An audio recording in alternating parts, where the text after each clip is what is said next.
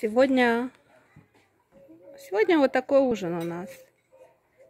Это кровяная такая колбаса. Ну, в общем, вы сами все видите, без моих объяснений. Здесь и курица, и сосиски, и, и баранина. Вот кусочки, видите, это баранина.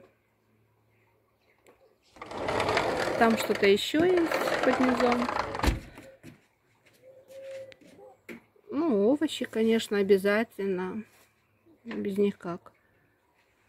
Это какой-то морковный салат.